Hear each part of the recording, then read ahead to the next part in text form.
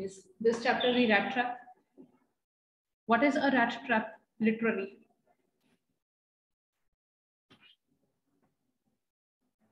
It's a device to catch rats. It's a simple device with some mechanism to entrap the rats. On which, uh, on what principle does this uh, device work? The principle that the rat will be enticed or it will be enamored by some eatable. It will come to eat and it will be entrapped. This is the mechan this is the principle of the rat trap. Okay, there happens to be a hook in the trap inside and the hook is made in such a way that the moment somebody would touch the hook or anything hanging to the hook, the trap will close. And anyone who's ever entered the trap or that device, that person or that thing will be entrapped inside of it. So the mechanism or the principle is greed Otherwise, you cannot ever, you know, trap a rat. But unless and until the rat becomes greedy or is enamored by the temptation, it will never be otherwise entrapped. So greed makes rat gets trapped. Right? And the poet, the writer Selma Lagerlof, she has used this rat trap as a metaphor to convey an idea that the whole world, in this world, you know, this whole world is like a rat trap. And in this rat trap, we, the human beings, get trapped because of our temptations, because of the fact like we become greedy or we get enamored by what seems to be tempting. So the, the temptations of life make us entrap in the world of obsessions, in the world of desires, in the world of desires eh, or obsessions, whatever. Otherwise, if in our life, if there is no desire, if there is no obsession, if there is no distraction, our life will be so simple. We would be all happy. The only purpose of our unhappiness or of sorrows is our desires and uh, extreme desire make us become obsessed. And then we become unhappy. And the reason for our becoming unhappy is not that uh, there is no choice, but we make the wrong choice on our own. What wrong choice we make? The wrong choice of becoming greedy, the wrong choice of being getting tempted towards the temptations. If we talk about ourselves, suppose I say uh, talk about student life. Student life is otherwise so simple. Okay, student life has just two bother about one's studies. That's it. But the temptations, there are so many other temptations. And because of those temptations, what are temptations? Something which seem to be good. But actually, they are not good. And no one uh, forces you to go to those temptations. And you get enamored by those temptations because of their own tempting nature and you get tempted, you get enamored because of somewhere the weakness in us. And what that weakness is, that we, by nature, we get tempted towards something which seems to be pleasant. But actually that happens to be only a distraction. And the moment we get distracted from our main path, we suffer. Okay, otherwise the road is very clear we all know that. You all know that you are students, your exams starting, and there is no other purpose for you people to right now. You don't have to cook food, you don't have to wash dishes, you don't have to earn money. Okay, out of thousands, there might be five children, 10 children.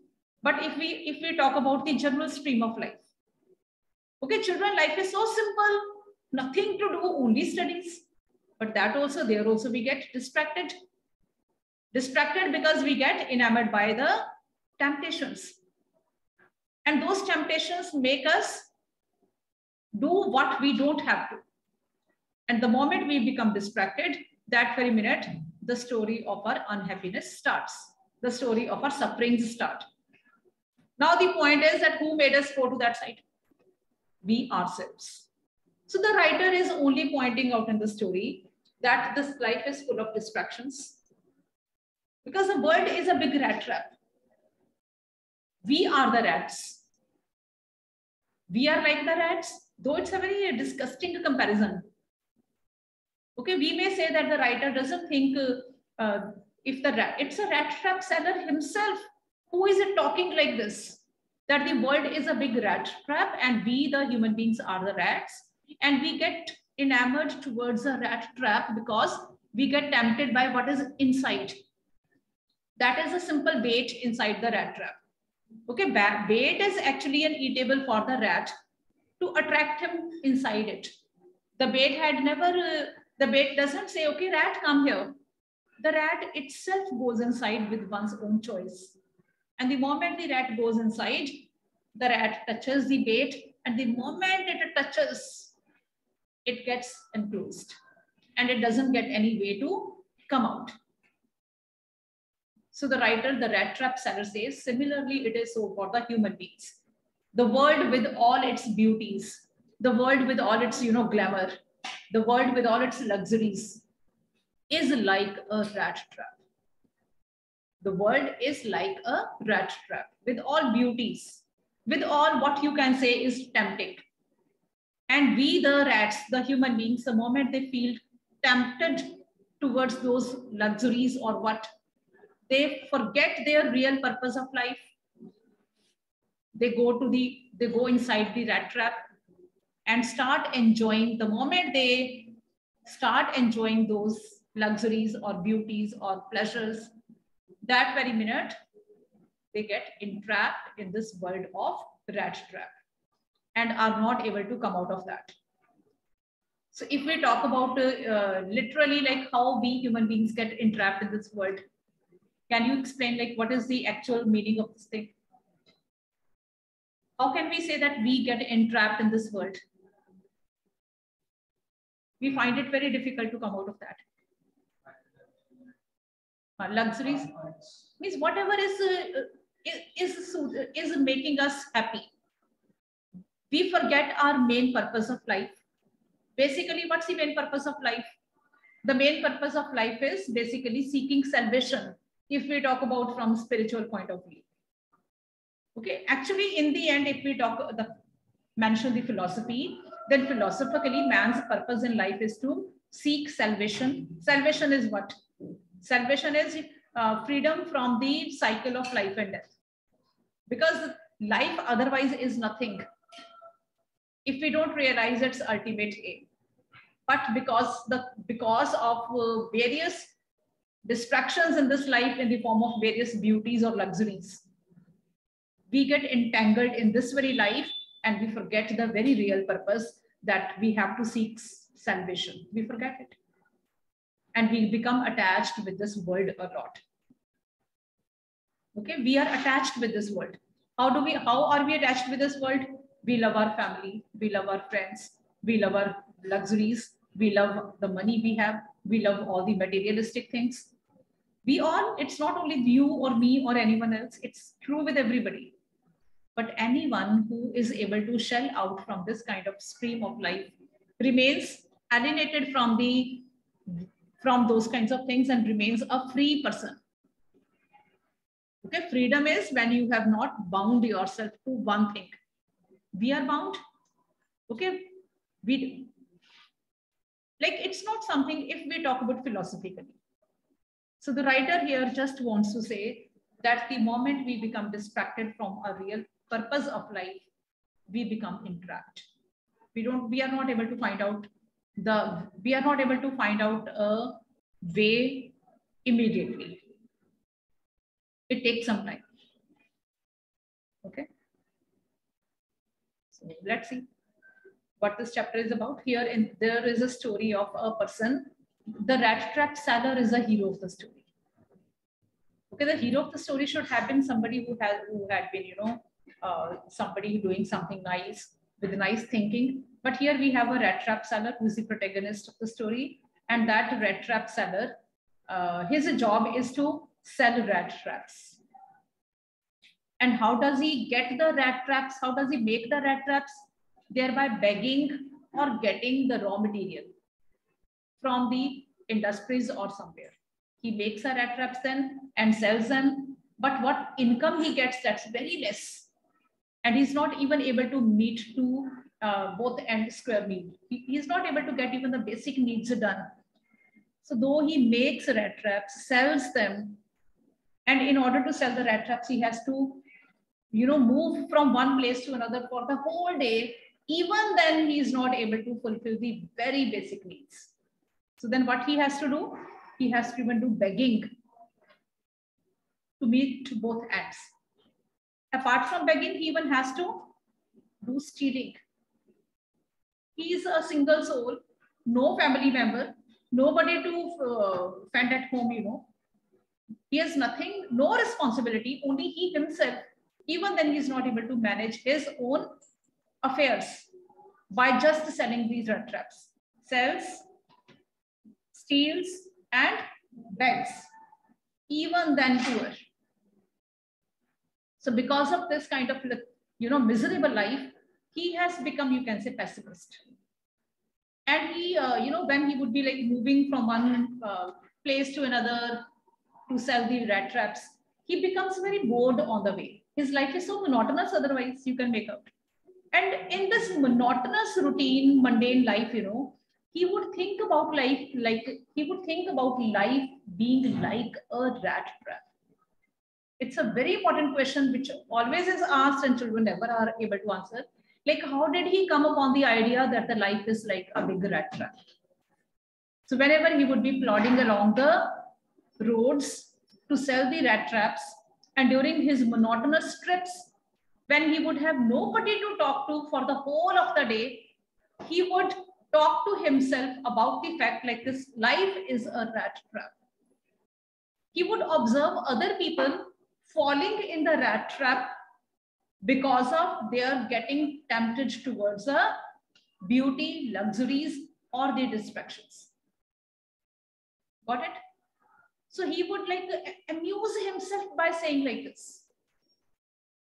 So why would he compare the world to a rat trap? Because he found that the people, they would get distracted and they would fall prey to the rat trap. And this idea would amuse him. He would seek happiness out of this. Why? Because so far he was he was not a rat trap. So far he had not been entrapped in the rat trap. He was free. He was free to move about.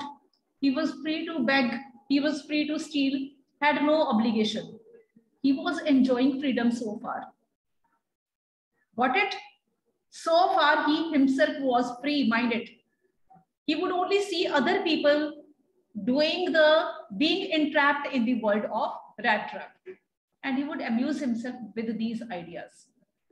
But one day, he himself will be entrapped. And what will entrap him? Simple greed. One day when he would be trudging along the roads, it would become very dark and at that time, he had taken actually, he was going by a forest. It became very dark. Night fell, and he was still in the forest.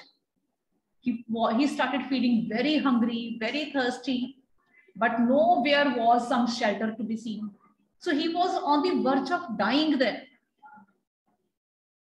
And all of a sudden, he heard some sound coming from nearby.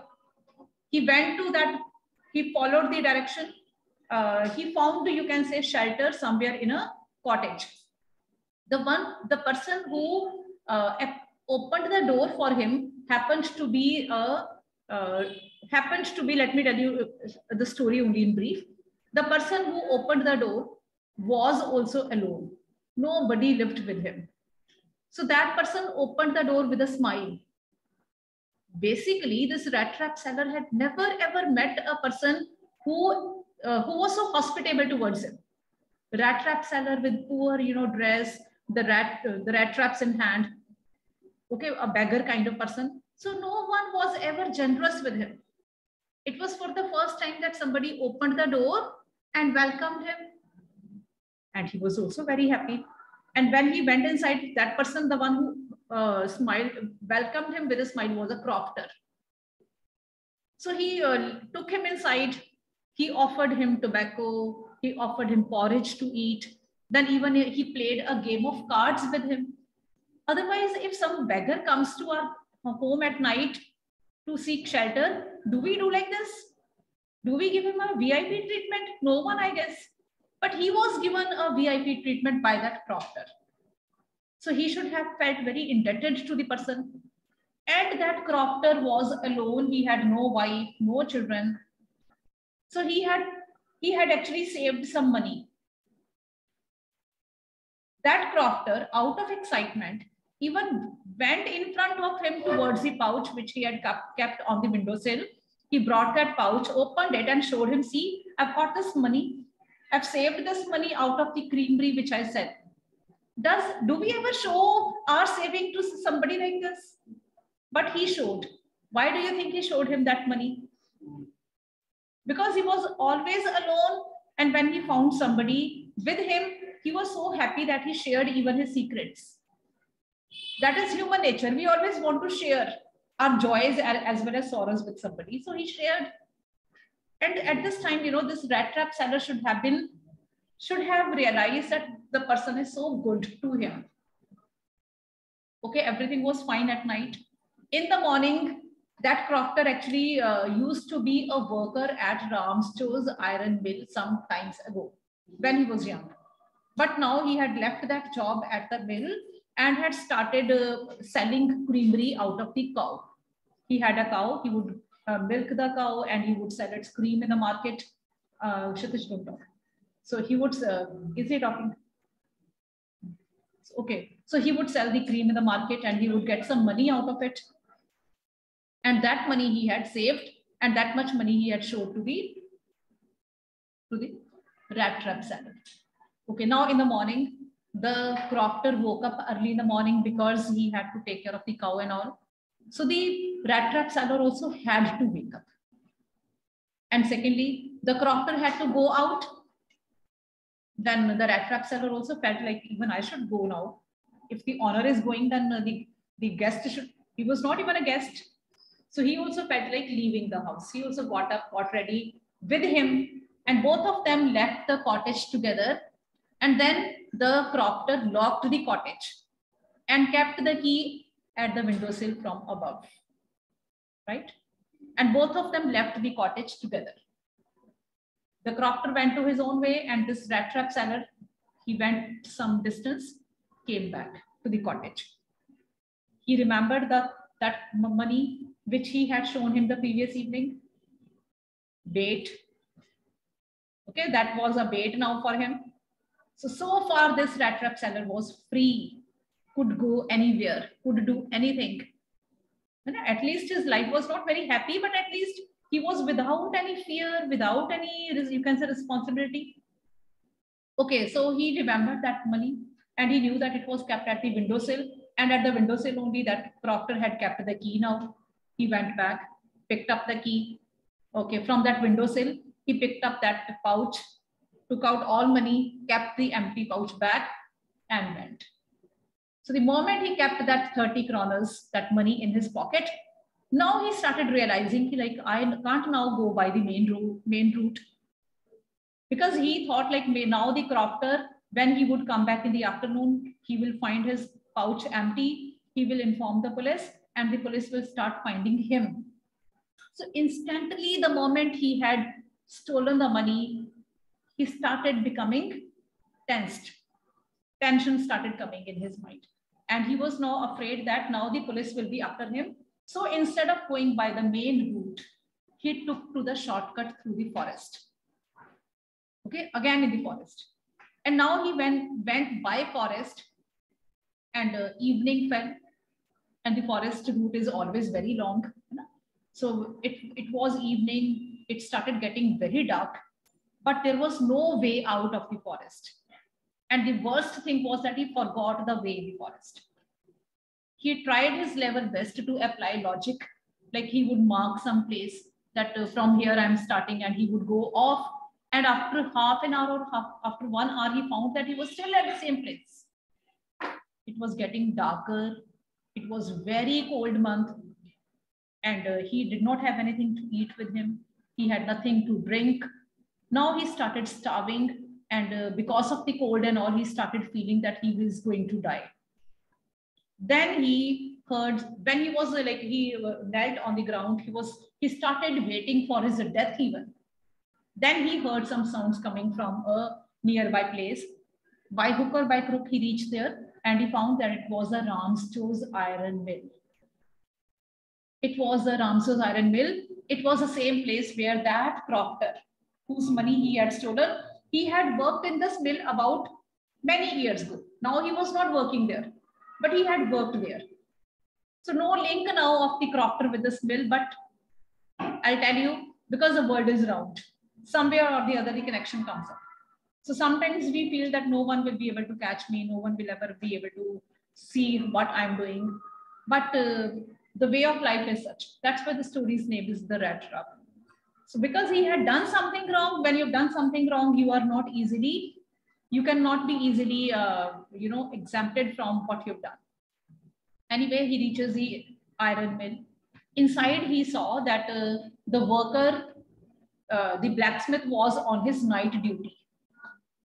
Though it was night, it was the coldest month of the year. Even then, in the mill, the night uh, nightly shift was going on. Why? Because the owner of the mill, that person was very particular that even the work should go on smoothly at night because they were they had to import uh, export some iron and all so they were very particular of, about work even at night so this person rat trap seller he went inside and he saw that the furnace was uh, on and uh, the worker blacksmith was doing his work he just asked him like sir can i uh, stay here for the night that blacksmith didn't even look at him why? Because Rat Trap's personality was such. People didn't even bother to look at him. But there was one person who had bothered to take care of him. Who was that? That crofter. But what he did with him? He ditched him. He deceived him. Okay, now that blacksmith didn't even bother to look at him. And this rat trap seller was used to these things. He was used to being avoided by people. And he didn't even mind. And he went near the furnace and he lay there. And because he was very tired, he was feeling very cold earlier. Now in front of the furnace, he slept there and then. Then by chance, the owner of the black uh, of that mill, he comes on a nightly round for nightly inspection.